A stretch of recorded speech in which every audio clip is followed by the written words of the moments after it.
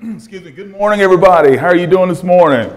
Can you see me? We've got microphones and all this stuff in the way, which is an awesome problem to have, baby. We got. I'm gonna have to stand on a platform up here so y'all can see me. Hey, welcome to Life Church. I'm Pastor Bobby. I, am so glad that you guys are here today. Hey, for those of you who are joining us online, we want to welcome you and say, hey, thanks for, for tuning into this today's message. We think it's going to be important and it's going to be a blessing to you. So thank you so much for for joining us online. Hey, one of the things that God really invi- impressed on my heart this week was this whole topic of invite. Everybody say invite.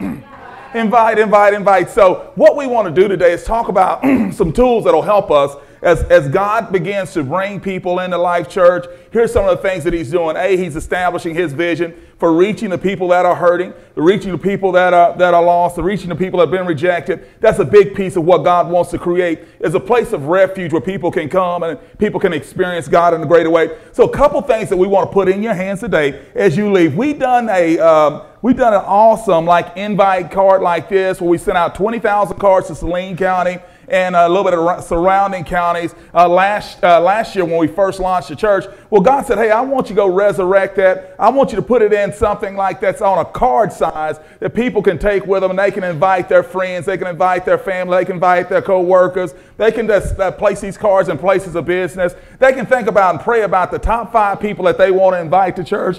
And you give them the, you'll give them the tools to help them do that. And the next thing that we've done is we created this awesome, awesome postcard. Anybody recognize that face? $22.12 to the person that can recognize them. Who knows that person?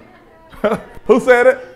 Erica Coleman. So Erica Coleman's friendly face is on this card. And we want to use these cards, postcards, to say, hey, listen, was thinking of you doing church service. We'd like to invite you to be a part of what we're doing at Life Church. And I'd love to see you this coming Sunday. I'd love to have you come to church with me. I'll, I'll save a seat for you. So that's what we want to do. And as we do that, God is going to respond to our request. He's going to respond to that and cause us to. Uh, to people that's a flood in, and, and the word that's been given to us is explosive growth. So that's what that's what we want to see. Hey, let us stand to our feet. We're going to go and go, go ahead and go to God in prayer. I want you to go shake somebody's hand, hug their neck, and welcome to Life Church. So, Father, we bless you. Thank you so much for what you're doing here at Life Church. Thank you for the awesome, awesome experience uh, that we're going to have today in you. And we thank you, God, that you're drawing us to, into a deeper relationship with you today. As we discover the third aspect of the person of the Holy Spirit, charisma, like a grace gift, an ability to that's been imparted to us to, to do something that's not like it's a hard job for us to do.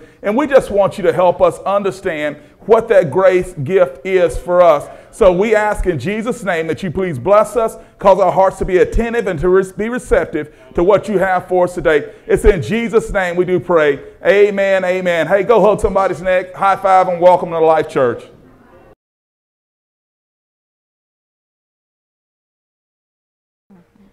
Thank the Lord. We're gathered together once again in His house to give Him glory, to give Him honor, to give Him praise.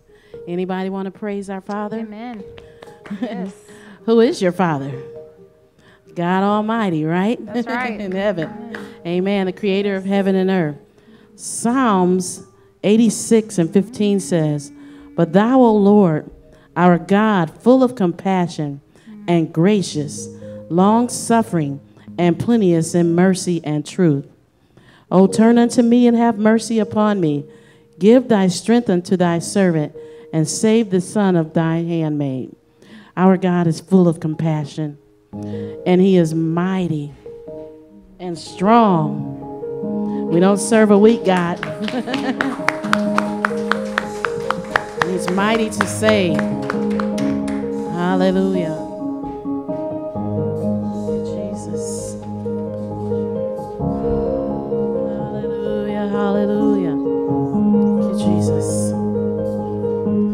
Sorry, we don't have words for you today. I'll try to feed you some words. Everyone needs compassion, a love that's never failing. Let mercy fall on me.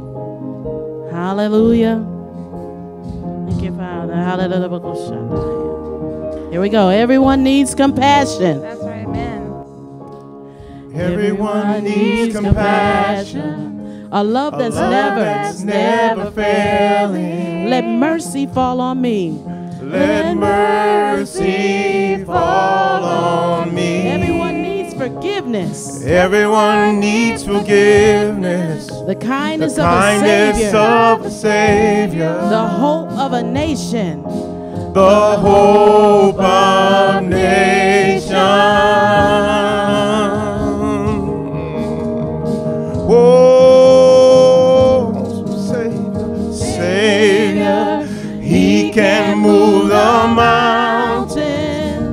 My God is mighty to save. He is mighty to save. Forever author of Forever author of salvation. He rose and conquered the grave. Jesus conquered the grave. Jesus conquered the grave.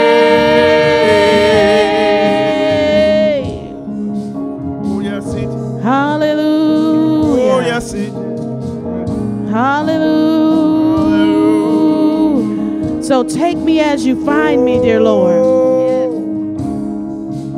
So take me as you find me. All my fears All and my failures. fears and failures. Fill my life again. Fill my life again. I give my life to follow. Give my life to follow.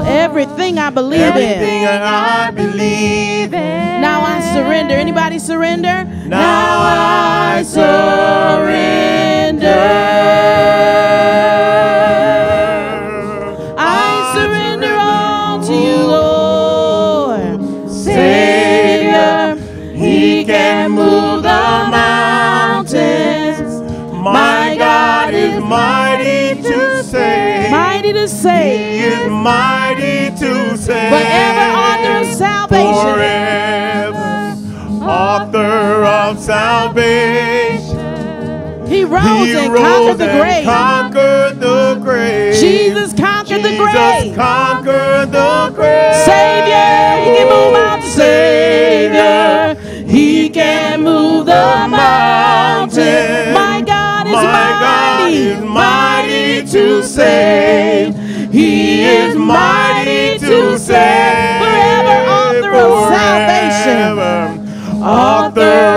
salvation. He rose and conquered He the grave. rose and conquered the grave. Yes, Jesus Jesus conquered the grave.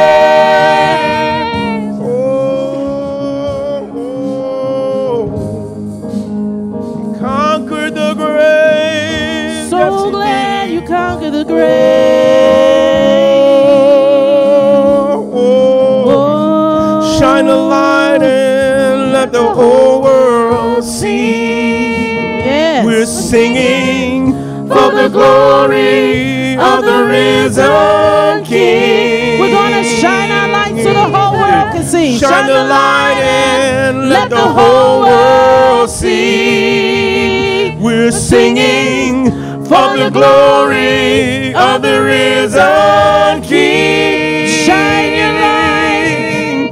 Shine the light and let the whole world see. We're singing for the glory of the risen King. Savior. Shine the light and let the whole world see. We're singing for We're the glory. of the glory of the risen King. Savior. Savior, He can move the mountains. Our God is mighty My to God save. is mighty to save. He is mighty to He save. is mighty to save. Forever author of salvation. Forever author of salvation. He rose and He conquered the grave. and conquered the grave. Yes, he did. He conquered the grave. conquered the grave. Savior, Savior. He can move the mountains. My God is mighty to save. He is mighty to save. Forever your author. Forever author of salvation. You rose and He conquered the rose grave. and conquered the the grave. Jesus conquered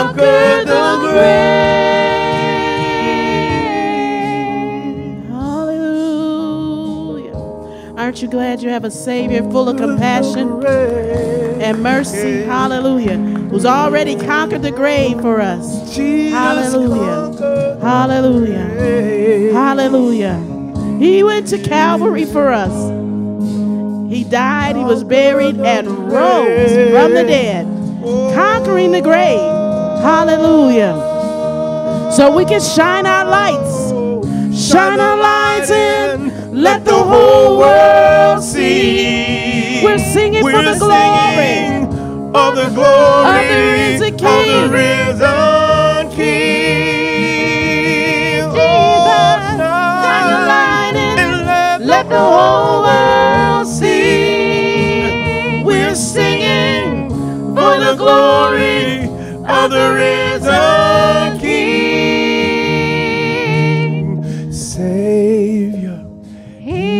Can move the mountains. My God is mighty to save. He is mighty to save. Hallelujah. Hallelujah. Anybody have loved ones that they want to see the Lord save? Do you know that He's mighty and able to do it? He can do all things exceedingly abundantly above all that we ever can ask or think. I dare you to put that loved one on the altar today. Amen. Hallelujah. Hallelujah. Because our God is great. How many of you know our God is great? Hallelujah. Why don't you just say it? Our God is great. Yes, our God is great. Make it personal. Say, My God is great. My God is great. Hallelujah. Splendor of a king. He's clothed in majesty. Let all the earth rejoice. All the earth rejoice. He wraps himself in light and darkness tries to hide and trembles at his voice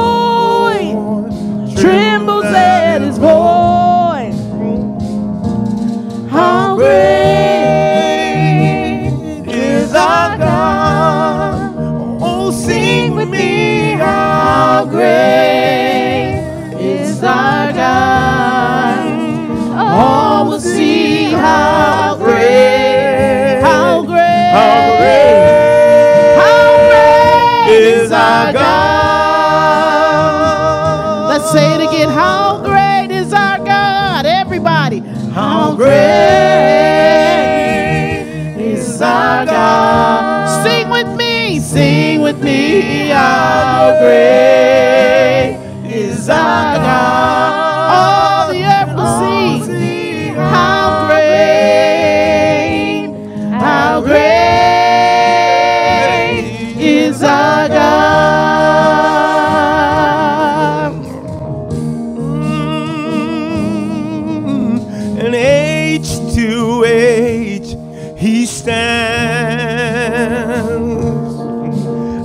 Time is in his hands. Yes. The beginning and the end, the beginning and the end Yes. the Godhead three in one. Oh, it's the Father, the Spirit, and the Son, the Lion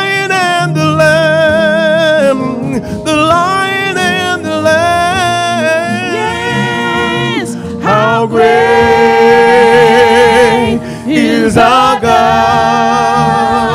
Sing with me. How great is our God, and all will see how great, how great is our God. How great is our God? Sing it together. How great is our God. Talking about your personal God. Sing with me, how great is our God. And all will see how great, how great is our God. He's the name above all names. Oh, he's the name above And he's worthy of our praise. You are worthy of all praise. And my heart will sing. and my heart will sing. How great, How great, How great is our God? He's our God. He's the name above all names. He's the name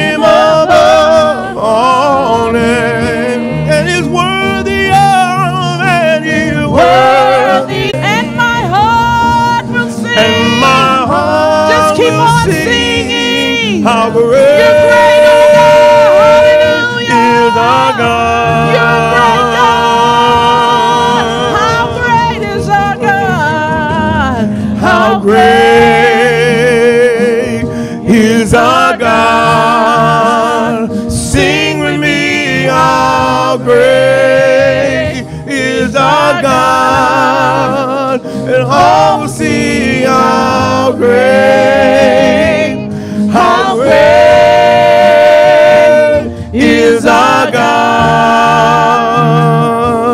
Hallelujah. Then sings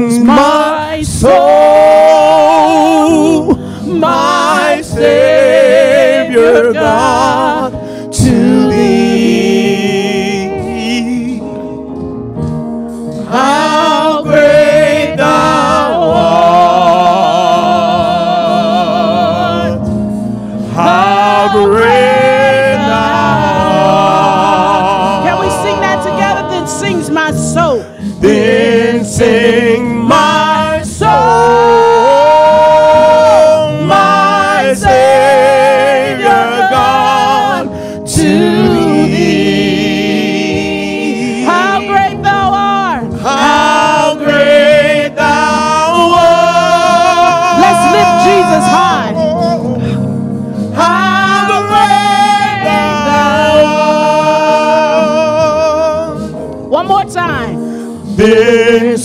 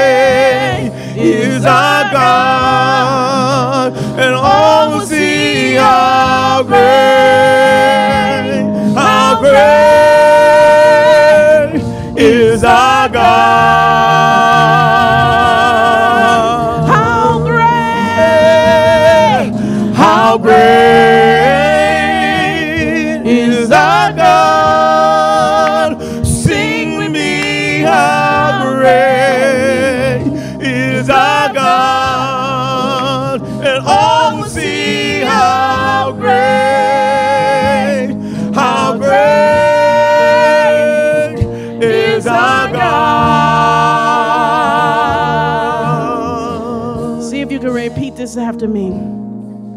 He's a great God. He's a great God. He's a great God. He's a great God. He's a great God. He's a great God. He's a great God. He's a great God.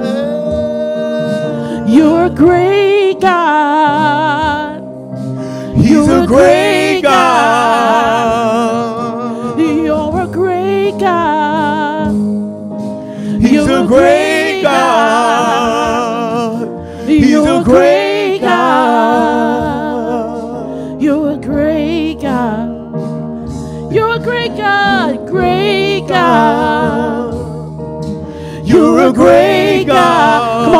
hands and tell them, You're a great God. You're a great God. Nobody else like you. A great God. Hallelujah. You're a great God. You are a great great God. You're a great God. Nobody can do us like He can. He's a great God. You're a great God. Nobody can touch us like He can.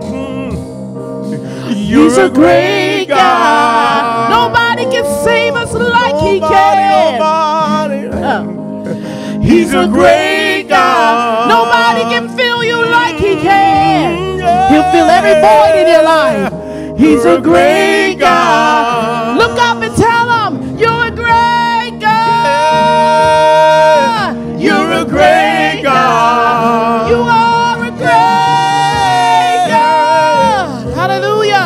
You're a great God.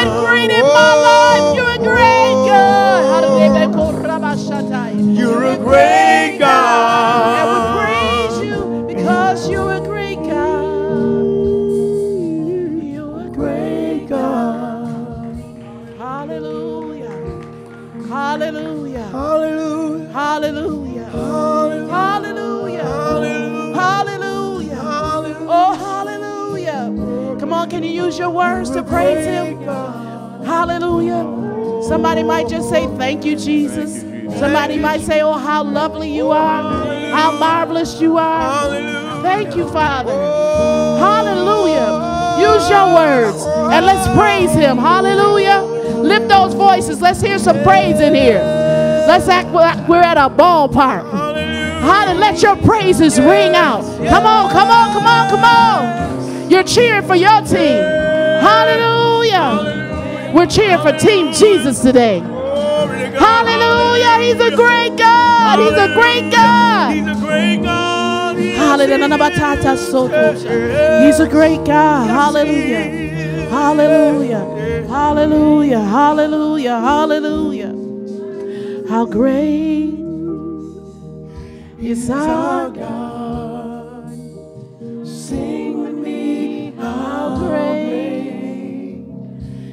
Our God. And all will see how great, how great is our God. Amen. Hallelujah. Hallelujah. Hallelujah. Bless you, Jesus. We honor you, Holy Spirit. We honor you, God. We adore you, Jesus. We adore you. So, uh, just right where you're sitting, we want to just pray God's blessing over you. Like, uh, if you need God to touch you in any way, uh, we're going to pray uh, during that this that second, first, second, third, whatever that song was. It, it just worked, didn't it? It, it just couldn't just couldn't interrupt it. But we're going to ask God to touch you right where you are. Okay? We're going to pray and like whatever that miracle is that you've been seeking God for, whatever the thing is that you need God to do for you, we're just going to ask the Holy Spirit to touch you right where you are. Like this is not something special like, well, we got to lay hands on you. Uh, I told you guys my story about receiving the person of the Holy Spirit. I went to a men's conference and they all prayed for me, nothing happened. I went home and got on my knees on the side of the bed and God showed up in my bedroom. So he's going to do that for you. Like whatever your need is, whatever your need is, this is your moment, this is your season, this is your time. Like God's, God's presence is here. We're just going to invite Him to help us. Like we can't do life by ourselves. So, Father, I bless these your people. I thank you, God, that you are God that sees and knows every single need that we're experiencing, whether it's needs in our health or needs in our finances, on our occupations, our businesses. We pray, Father, that you would just uh, bless our families and our children. And God, you just cause our minds and our emotions to be healed right now. Like you wouldn't let the spirit of anxiety and stress and worry and fear and uh, depression and all those things that what the enemy would try to bring our way because of the conditions in our life not being what we think they should be. So I just pray, God, that you would just meet every single person right here, right now, and that you would just meet their needs because you are a great God. I, I give you honor from where we started here at Life Church. I never imagined that we would come this far, like uh, so soon, like to even have people that could play worship songs live, and we give you thanks for that. You know, we started off with just videos that we played up here, so we give you glory and honor for what you're doing. And so we just ask God your choice blessings on each one of us as we go into this service to hear your word, that we'd experience you in a greater way. In Jesus' name, bless these your people. Amen and amen. High five somebody and have a seat. I hear them. I hear high fives all over. so if you didn't get a chance to get a copy of sermon notes, we've got some sermon notes available. Brother Saul, we still got sermon notes. There's one right up here in the front. Looks like everybody's covered. Hey, we want to continue on with this. We've been doing this, a series on the person of the Holy Spirit. We started off, we started off just understanding what the word spirit and ghost mean. Like we see there's two different um, type uh, words that we get for the person of the Holy Spirit. In the Old Testament, he's called the Holy Ghost, and that's uh, ruach is what that word means. In the New Testament, we get the word Holy Holy Spirit, and that's the, that's the word pneuma. So we talked about those two different words, and some of the things that kind of uh, gets us afraid sometimes. We think about ghosts and spirit, and not many of us like ghosts, and not many of us like spirits, but we don't want to put the Holy Spirit over in that category. What we learned was those two different words have almost the same meaning. What that means breath. So, but what we know is like the person of the Holy Spirit is just like breath to us. Like it's, it's like breath to our spiritual bodies. Like we, we all need our lungs to work. I, I, I watched a documentary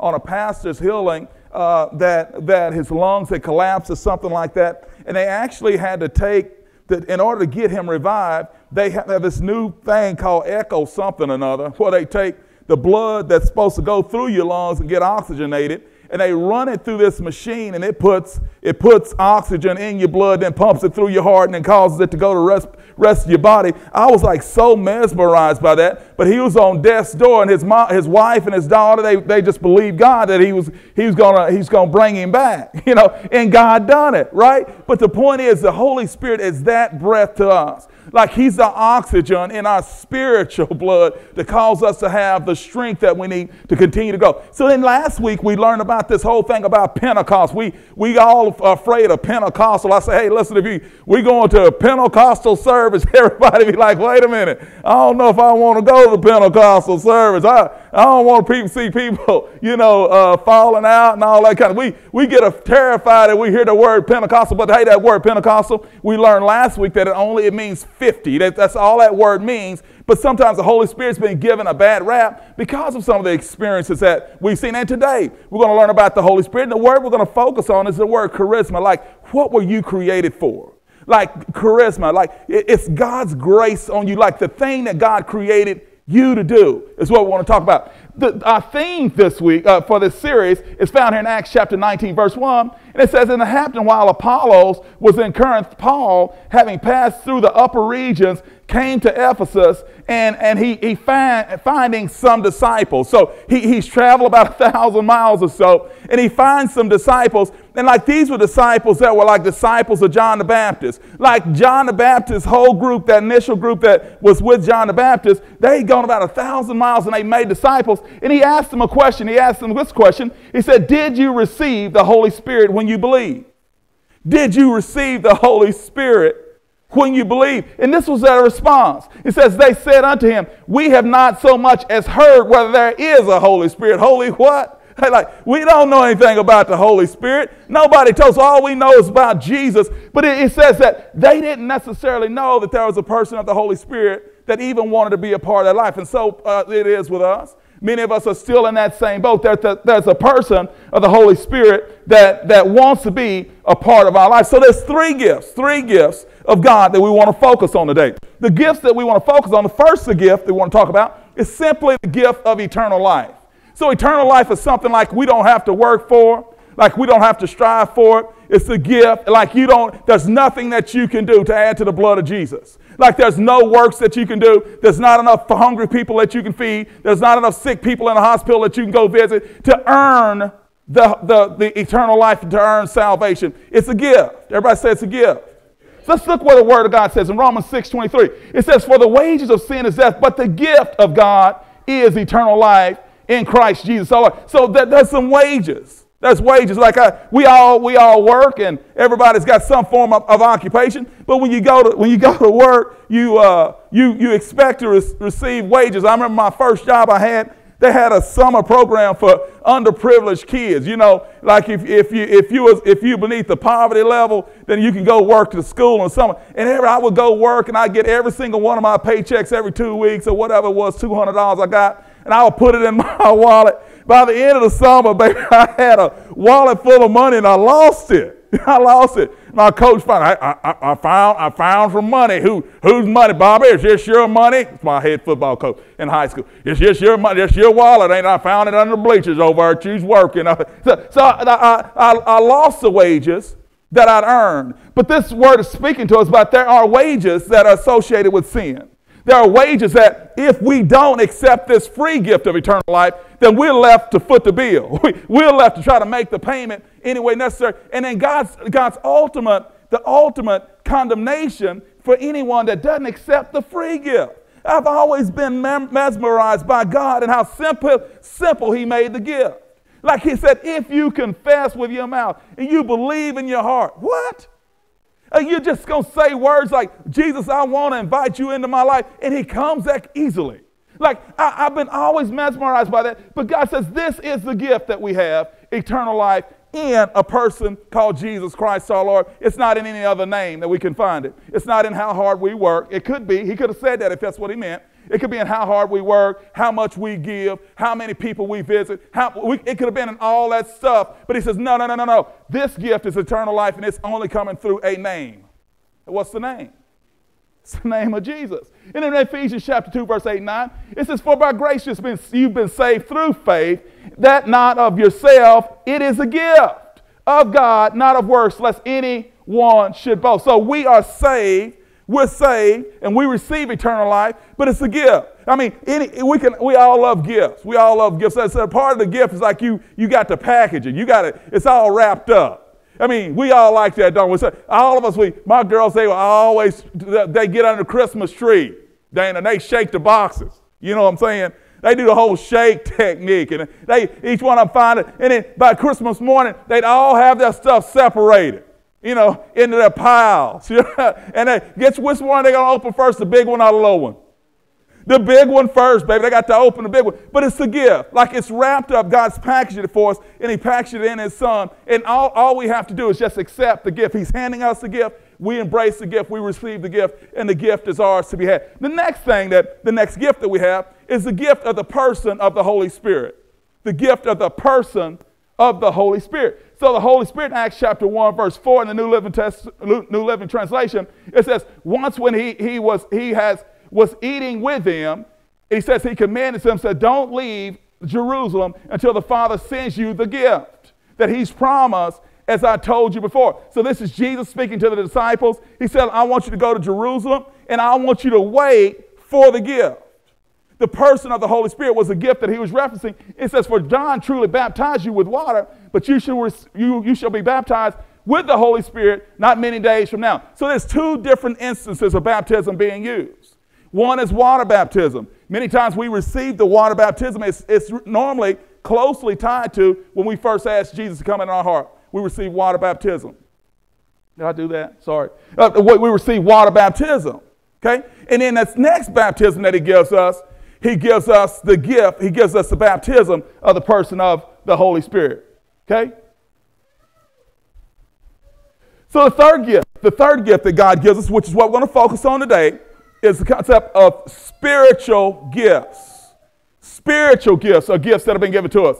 In, in 1 Corinthians 12, 1, it says this Now concerning spiritual gifts, brethren, I do not want you to be ignorant. So there are 27 different spiritual gifts mentioned in, in, uh, in throughout the scriptures. In, in 1 Corinthians chapter 12, verse 1, and all down through there, we see the primary spiritual gifts list, listed. So that's a gift of prophecy, a gift of healing, a gift of, of, of, of like discernment, uh, discerning of tongues. Speaking of tongues is one of the gifts that everybody's terrified of, but it's a gift. Like it, it's, it's a gift of word of wisdom or word of knowledge, like God to show you something that's getting ready to happen in somebody's life. All those are gifts that God gives us. And He says, I don't want you to be ignorant concerning them, but He says, this is, want, this is what I want you to do. It says a spiritual gift is given to each one of us so that we can help each other.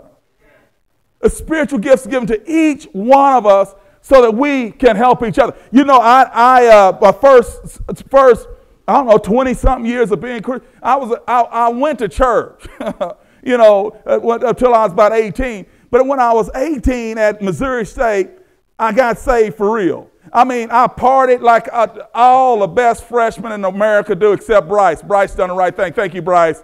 There you go, Bryce. Give Bryce a hand.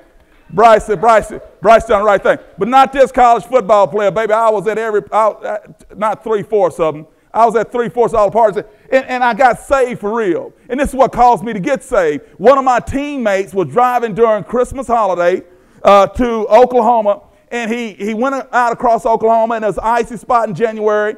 And he hit a slick spot down by Yukon, Oklahoma, in a little uh, uh, Suzuzu, a Isuzu truck, them little bitty trucks they had back in the day, flipped over, ejected him, truck rolled on him, and killed him. And I, my life changed like that. Say, God, look, I've been playing around. You know, I haven't been serious about this thing. If I would have been in there with my best friend, my life would have ended. I don't know where I would have spent eternity. Would you come into my life? And I remember going in Hammond's room 802B and getting on my knees on the side of my bed, and everything changed for me in that moment that the spiritual gift is given to each one of us to help each other. And that's when my life uh, began of, of growing in the Spirit and understanding the things of the Spirit. So, of all the spiritual gifts that we could receive, let's say there's 12 gifts and there's uh, 40 of us in this room. Like, let's say each one of us had a gift. So, what God wants us to do is understand, discover the gifts that He's given us. It says a spiritual gift is a special, is my best definition of it. A, the, a spiritual gift is a special supernatural ability that God gives each of us, His children, so that together we can advance His purposes in the world. So it's not a natural ability, it's not something that we can do on our own. It's not our, our, our gifts, our, our, you know, natural aptitudes and all those types of things. It's, it's not that. It's not something like, you know, I, I, he, he got the gift of joy. Joy is a fruit. It's, it's not a gift. I mean, you, you can't, it's not, it's not something that you can do naturally well. Like it's, a spiritual gift's not how strong I am. Spiritual gift can't be how handsome and good looking I ain't a spiritual gift. It's not a spiritual gift, but it's a supernatural ability. So, what God wants us to do, there's three things that God wants us to do. The first thing He wants us to do is He wants us to discover, discover the gifts that God has for me. Discover them. Like we do, we do something called Growth Tracks here. Growth Track 101 is about Life Church and how, how we connected with Capital C Church of Jesus. You got to know that before you join any church. To, to, number two, the second growth track we do is like how to grow as a Christian, how to study, how to pray, how to grow as a Christian. And then the third growth track is your personality and your spiritual gifts. We actually take you through two assessments, 120 question assessment and 172 question assessment on one, your personality is 20 questions, 72 question is your spiritual gifts. Like what did God create you for and how do you discover? And, we, and through those questions, you discover what your spiritual gifts are. And for me, it happened probably about five years ago that I went through this whole growth track 301 and I was asked to teach it at another church. And I just went through the whole thing. The minute Pastor handed me that, man, I went through the whole thing. I took Marcia, I took my girls through it. I added me and Marcia's score together. I seen which areas we were strongest at as a couple, which areas we were we were we weren't uh, we were furthest apart on. We were intentional about focusing and changing our relationship. I was real strong in leadership. Marcia was real poor in leadership, so she didn't have much experience in that. I had a lot of experience. So we said, how can we develop you in leadership? And she started volunteering for different ministries you know, doing different things like that. So she can grow in that area. And as we grew, grew together and grew closer and, and we understood our gifts and where we were strong and weakest as a couple, then everything began to grow for us as a marriage. So God, God wants us to discover our gifts, and this is where he says it. Romans 12, 6 says, having then gifts differing according to the grace which God has given us. So, like the gifts of, of God chooses a gift. Sometimes in our lives, we, we, we choose the gifts that we want, right? We already know what we got in the box. You know, I, I, I chose a gift. It was my birthday, and somebody in this room said, Hey, hey, hey, what do you want, what do you want for your birthday? I said, Man, you got some good cologne that you wear. What is that called? Give me some of that for my birthday. I want that's some good smelling stuff. Will you buy some? And brother Saul went to Walmart, went to Walmart and bought me some of it for my birthday, but I chose the gift. But this is a grace gift. Like God chooses which grace He wants to release in each one, each which gift He wants to release in each one of our lives.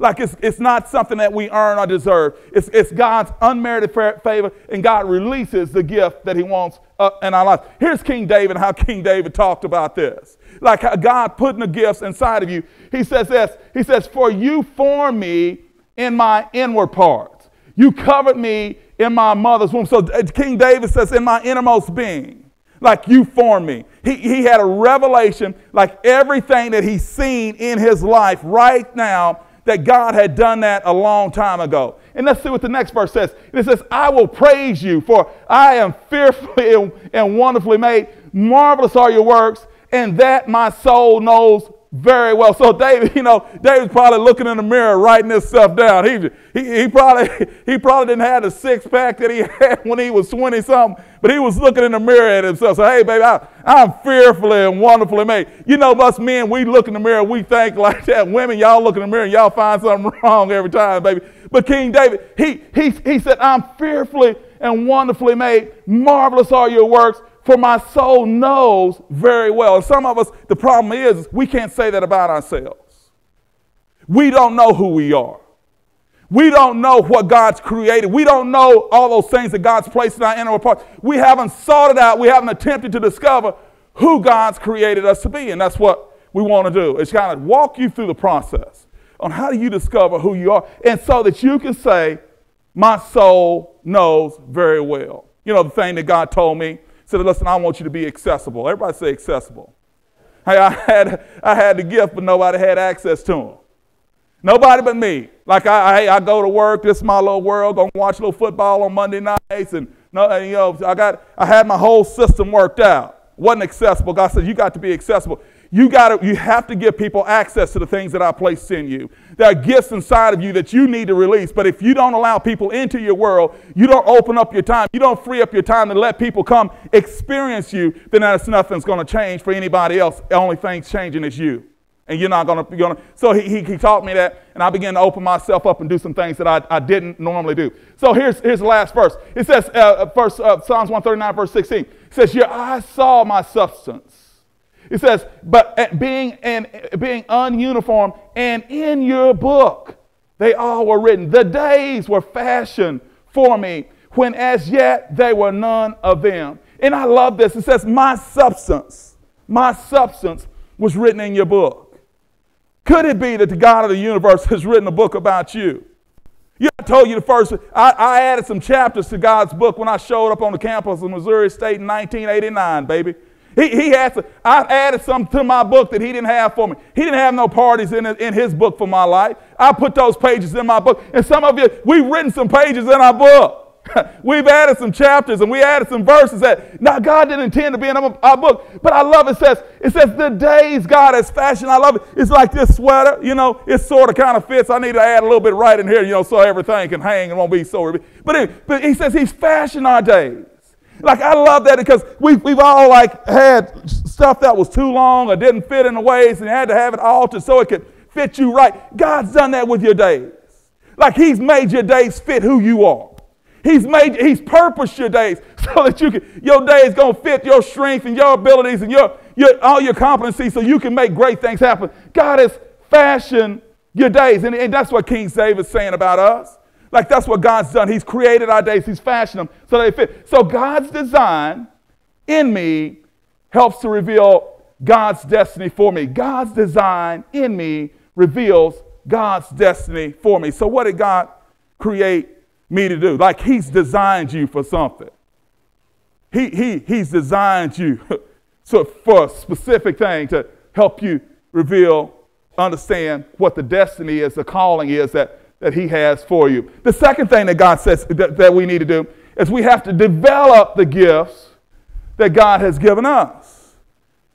Develop the gifts God has given us. 1 Corinthians 14 1 says this it says, Pursue love and desire spiritual gifts, but especially that you may prophesy. I love this desire spiritual gifts. So, what, what this is really saying to us is the Holy Spirit is not someone that's repulsive. The Holy Spirit is not, if God desires for us to ha- receive the person of the Holy Spirit, we shouldn't push that away. It's like the Holy Spirit is here, and I love this, but He's, he's the CEO of everything supernatural here on earth. We have the enemy, the devil, and all his angels that are structure. The schemes that Ephesians 6 tells us what they're about. He says there's principalities, there's powers, there's rulers, there's a spiritual wickedness in heavenly places. And he says, he says, put on the whole armor of God that you may withstand the wiles, the schemes, the strategy that the enemy's bringing at you. And he says, You got to have the helmet of salvation, a breastplate of righteousness, the sword of the Spirit, which is the word of God, the shield of faith, the belt of truth, having your feet shod with the preparations of God's gospel.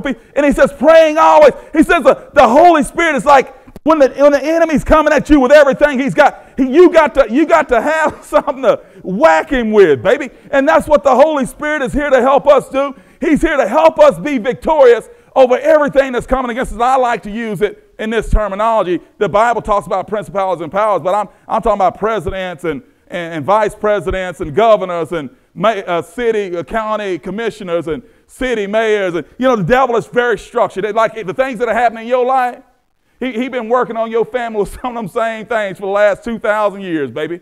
So that's how he's getting it to work. So we got to have to have, have to have the person of the Holy Spirit to help us. And the Bible says we've got to desire spiritual gifts.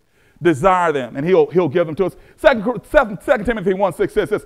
This is why he says, I remind you to fan the flames of the spiritual gift God gave you when I laid hands on you. He said, fan the flame, fan the flames. I, I, how many of y'all had a close encounter with flames in your life that, that left you wounded? Anybody had a close encounter with flames? Anybody in the room? Hey, I, maybe I'm the only, there's one back there. Hey, maybe I'm the only one. But it probably about 10 years ago, 10 years ago so, well, our girls, we, we had a birthday party. You know, we, we done a cookout out in the park, you know. And uh, we went to we went to Aldi's and we got some of them 80-20 hamburgers, but these was actually 2080s. you know, 2080s. And I laid them suckers out. I laid them, you know, those, those uh, at the park, they just have like the bars going across. There's no lid or nothing. You take the brush, you, you, you put the coals in there, you scratch them off, and you just lay whatever's right on top of them, right on top of those bars that are going across there. And do you know, I got to flipping those 2080 hamburgers over, and that those flames from that flames from the burgers. I was trying to keep from burning them because we were having a birthday party in the park and all the friends were, and I was trying to, it was a, you know, it's a battle when it's trying to get, Stephen knows what I'm talking about, baby. You got to, you got to win the battle. And I wasn't thinking like bring something to squirt it with or anything like that. And, and, and the flames like came up the, the spatula deal and like kissed the top of my knuckles. And then you know, all birthday, Marcia said she just entered the room. All birthday fun in it when the flames came in contact with my knuckles. I mean, I thought my world was ending. Anybody ever been burned like that? Like you don't want anything touching. The best thing that I could do was keep those fingers in a cup of ice till, till the party was over. And then I kept them in a cold cloth and, and kept them wrapped up. In about a day, I healed up from that. But just said, listen, there's a, there's a flame of the Holy Spirit inside of you that needs to be flamed, that needs to be fanned. It needs to be fanned. Like there's something inside. God's placed that gift inside of you. And, and you, you got to you got to allow the wind, you got to let oxygen get into it so it can it can flame up. In my case, some 2080 hamburgers that I was cooking, the grease off them was, was all that they needed. That's the, the coals needed to come up and, and burn my fingertips. But God said, I want you to fan the fan the fan, fan the flames. The next thing he says he wants you to do is I, I want you to use the gifts that God's given you. Use the gifts. Use the gifts. I mean, there's, there's a, a song that, that, that, I'm going to ask Sister Julie to come up and help me with. But it, it was a song about 20 years ago. Uh, 20 years ago. Uh, I, I, this is my first and last debut of exercising this, this, this gift that wasn't a gift for me. You know, I took the assessment uh, that, that I'm telling y'all about, the 72 questions, and I thought for sure that worship would be like at the top of like all the spiritual gifts. There's nothing I enjoy more than like worship. I love it. I mean, I, I really enjoy it. But it says, one of the questions asks, uh, you spend um, a great deal of time developing your vocal or instrumental gift. I was like, no, I don't do that, but baby, I sing in the shower. Don't that count for something? You know, but it don't. I mean, like I don't spend hours trying to develop my, my gift. I just sing along. I'm a sing along man. And 20 years ago, the choir director, Brother Godwin, we, Brother Deacon Godwin, we're gonna ask you to, we're gonna ask you to lead a song. We're gonna we're gonna have you lead a song. Sister Nora England, if you're watching, I forgive you. but I got up in front of everybody, uh, in front of, the, in front of everybody to lead the song. And what did I say the song was? My soul's been anchored. So I, I pick up the words to the song. Come on up, Sister Julie. I pick up the words to the song, and, and, I, and, I, and I start singing the song, and I, I'm, Brew, I'm shaking. The storms keep raging in my life, and sometimes it's hard to tell the night from day. And then I had the nerves to say this, Sister Jody. I think I better say it again. I went there. When the storms keep on raging in my life. I was terrified, Darla. Terrified in front of the old church. But sister, but that was then. Now I'm not, I, I, I know it's not my gift now, but at least I know how the song goes. Sister Julie, will you just give us a taste of how that's really supposed to sound because this is her gift that she's using her gift. Let's hear it. Though the storm keep on raging in my life. yeah. And sometimes it's hard to tell the night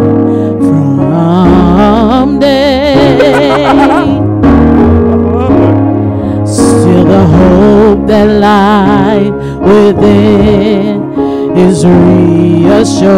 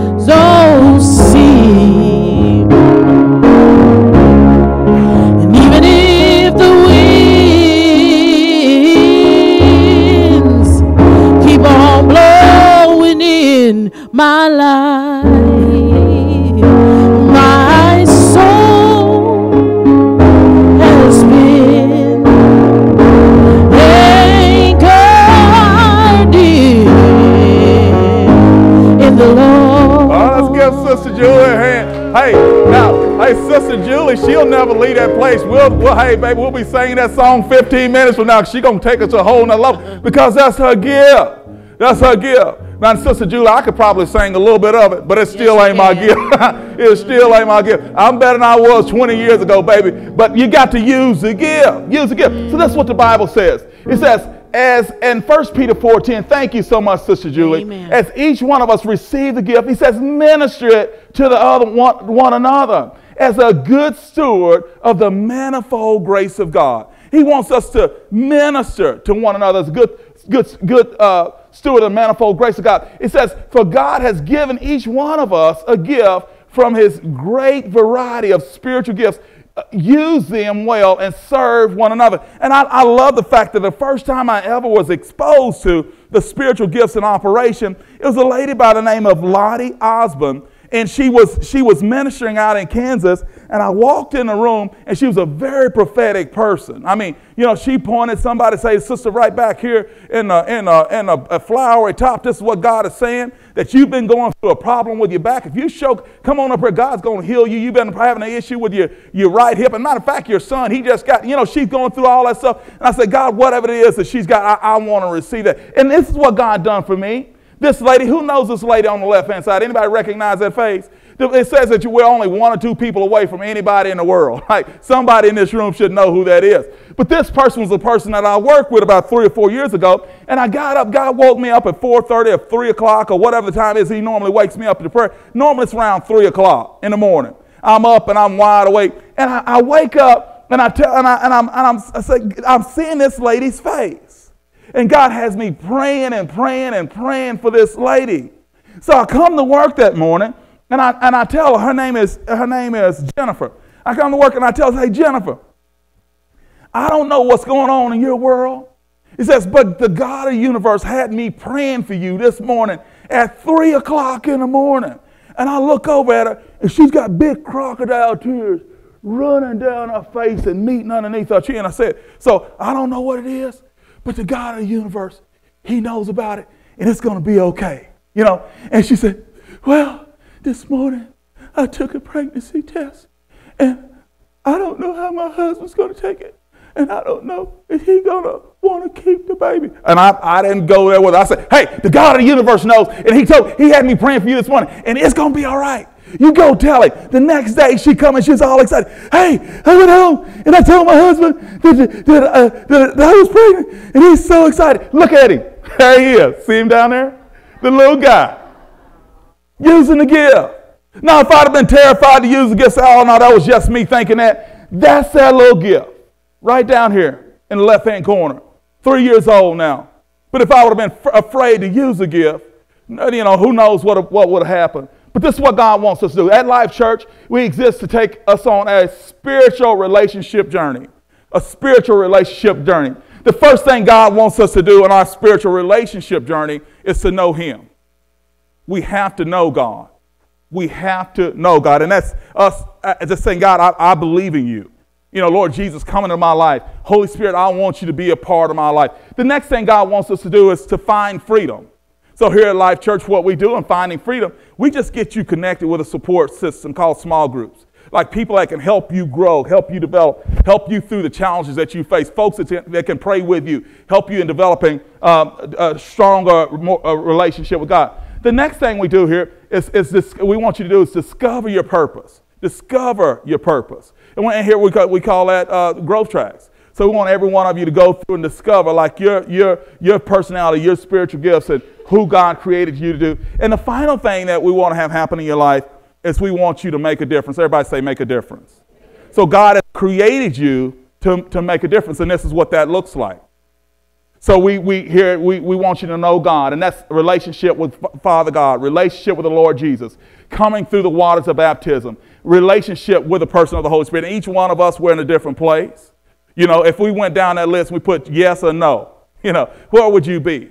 You know, yes, yes, I've, I've said, God, I believe in you. Yes, I've invited Jesus into my heart. Yes, I've, I've completed water baptism. Yes, I've got a relationship with the Holy Spirit. Yes, I've joined a small group. Yes, I've completed living in freedom every day, which is how do you take off the shame, rejection, fear, and depression, heaviness.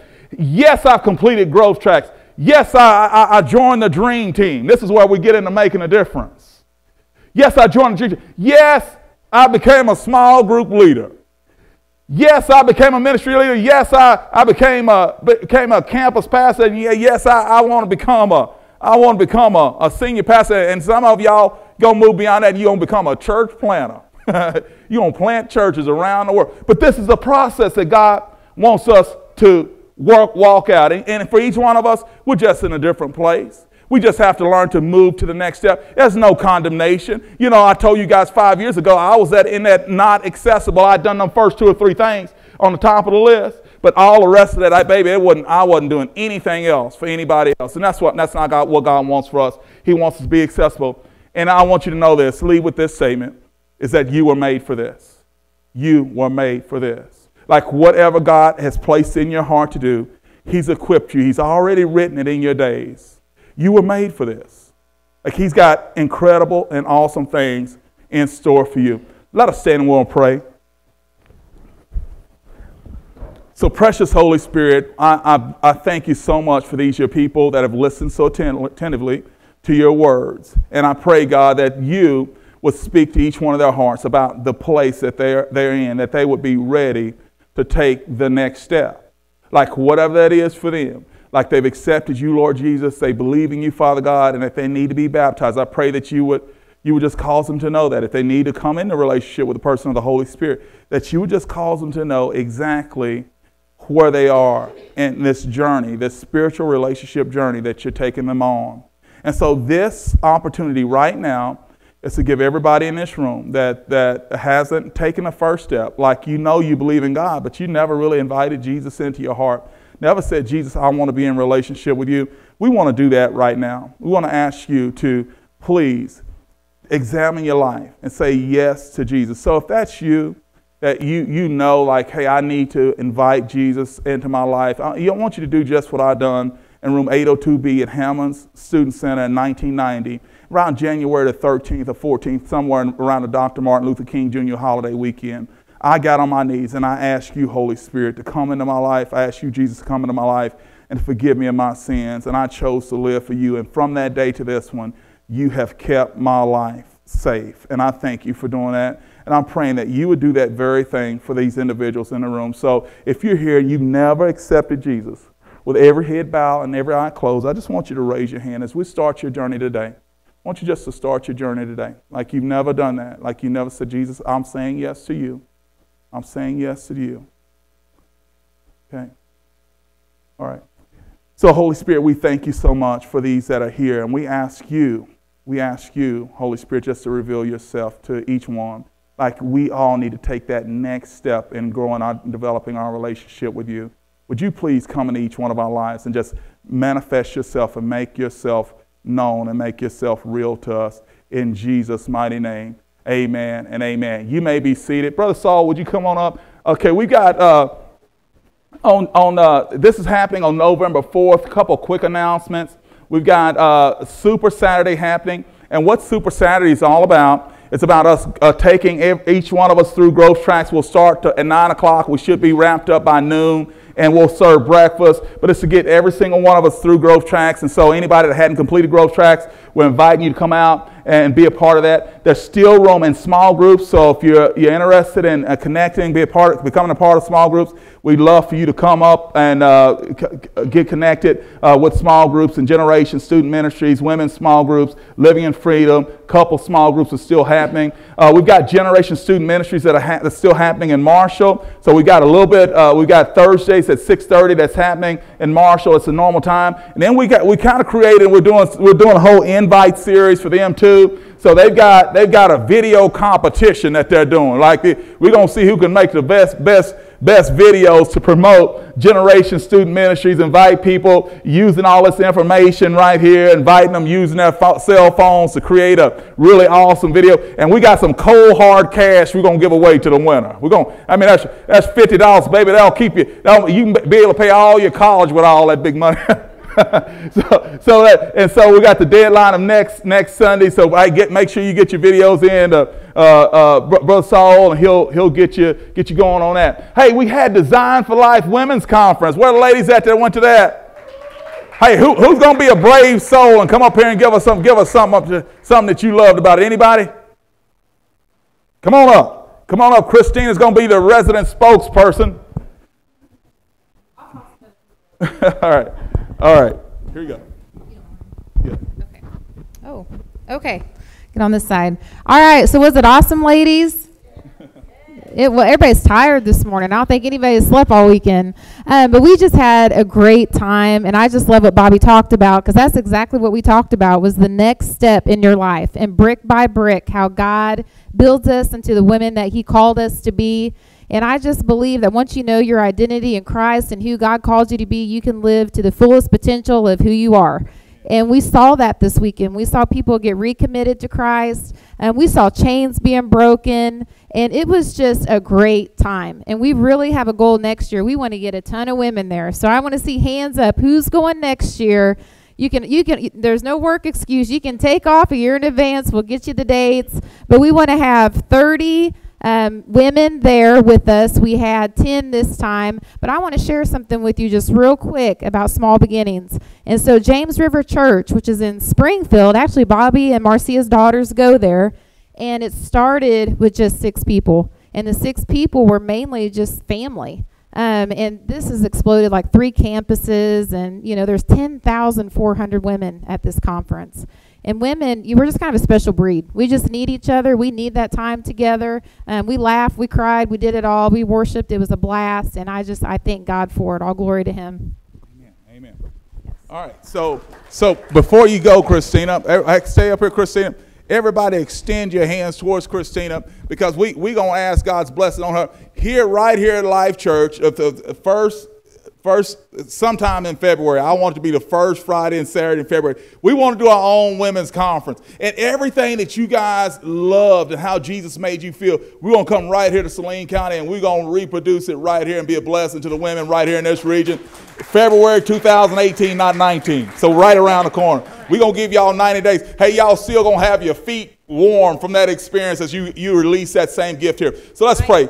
Father, in Jesus' name, we thank you uh, for Sister Christina, and we thank for the ladies that went with her, that every single one of them are going to send Christina like how her, their experiences on how Jesus made them feel. And we're going to reproduce what you've done there, Lord Jesus, right here in this county for the women that are here. And that conference is going to be called Be Loved Conference be loved, like you, that, that the women can come and experience the love of Jesus right here at Life Church. So we release your choice blessings on them, that same anointing that they experienced there, that you would cause them to release that here in Jesus' name. Amen and amen. God bless you. God bless you. Brother Saul, you want to come on up?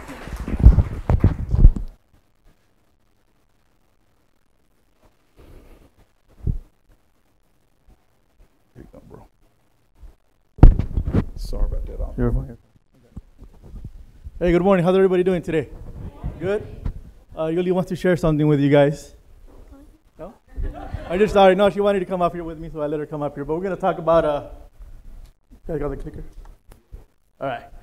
We're talking about, uh, about Jesus feeding the 5,000, right? The two fish and five loaves, all right? So, so here it goes. When it was evening, his disciples came to him saying, This is the deserted, this is a deserted place, and the hour is already late.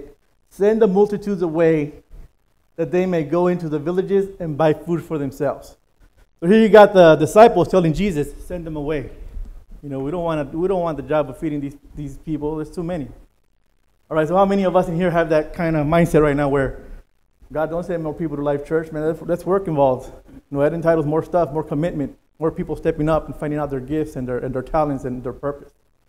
Right, so so we'll go to the next one here, and it says, But Jesus said to them, They do not need to go away. You give them something to eat. All right, so this, this is Life Church right now, a baby church, a year and some change. All right, so this is, uh, when we first started Life Church, I've been a part of it. I've been blessed to be a part of it from the beginning. And there was a, a total of unchurched people out there. We weren't going for people that were going to church already. We were targeting the people that were unchurched and didn't have a church home.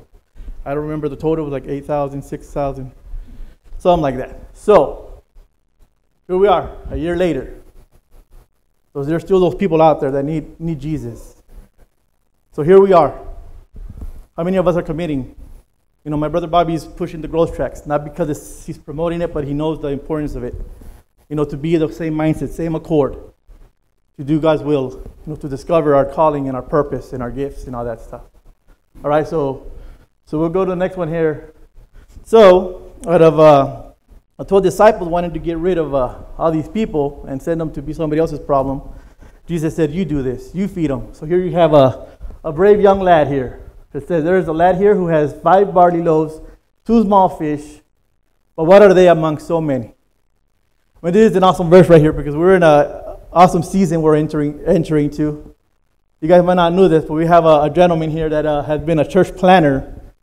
And at that time, he probably, he probably thought he was giving his two fish and five loaves to God.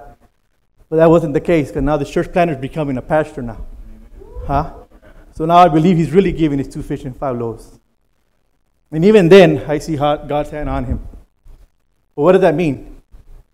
Life Church, you know, the vision God laid on, his, on him. All right, so, so where are we at? Are we those disciples that are going to sit back and uh, try to send other people away somewhere else?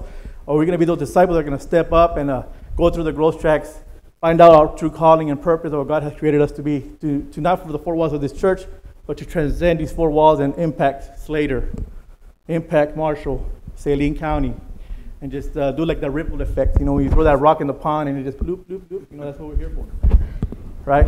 But we have this awesome man right here that has given his two fish and five loaves. I feel that now he has given his two fish and five loaves.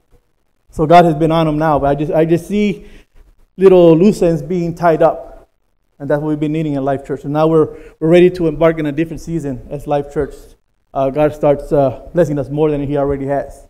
Man, you guys look at Life Church, you see all this stuff up. Man, I was here. There was like three pews right here, and this was covered up, and like a little bench and, and a little a little stand right there for the projector, a little screen right here. I mean, that's that's how I see Life Church in the beginning. So now you see a live worship band. I mean, you tell me if God's hand is not with us if God is not with us. All right, so that's pretty awesome of what God is doing. But here, here, here we go. Then he took the five loaves, the two fish, looking up to heaven.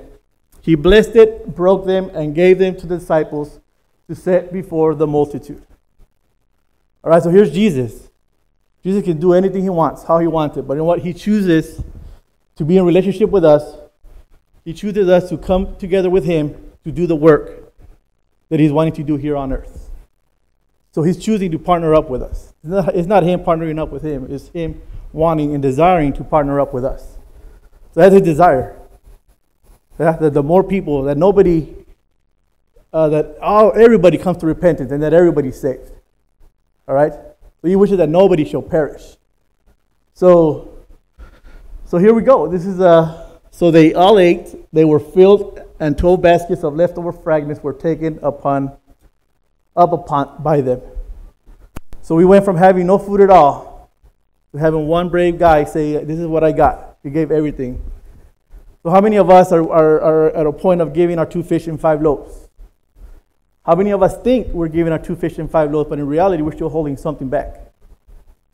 This is our own personal question for, for you guys as individuals. Um, but I'll share this with you guys. When I first got saved six years ago, seven years ago, I took, I took the, the group, uh, the, the gifts assessment, you know. But what I got out of it was uh, hospitality and service, right? The first time I took it. But why? Because I, did, I was new to the scriptures, I was new to prayer, I was new to everything that it involved to be a Christian. So here I come to Life Church last year sometime, and Bobby's uh, offering these growth tracks. So I take that, that assessment again, and here I am, it gives me the gifts of prophecy. And I'm like, man, that's crazy.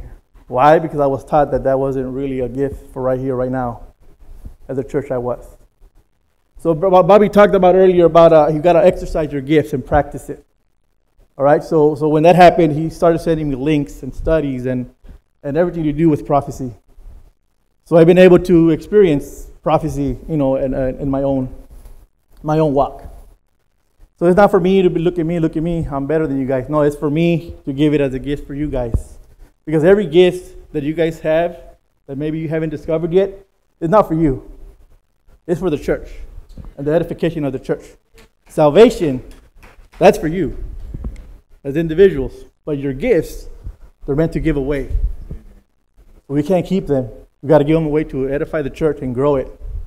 All right, so, so that's what I want to share a little bit a little a while ago, God laid on my heart to lead the youth and have something for them. Uh, you guys might not know this, but prior to being a Christian, man, I didn't want nobody at my house because of my lifestyle. I didn't like just random people showing up. So my house was really, like off limits to just a certain few that I would allow to go. So why do I say this?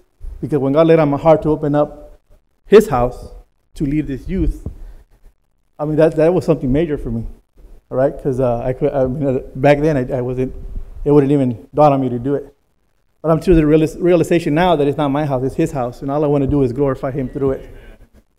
So what am I saying? This has been an awesome ministry that He's blessed us with. There's been awesome kids that have been a part of this ministry. But long story short, you know, we had a, a, a full house and uh, we had no room. That's an awesome problem to have, right? But I, I, I sat with those kids and I said, here you go. You, you know, you want to talk about prophecy? This is a prophecy for you guys. I don't know how, I don't know when, I don't know where.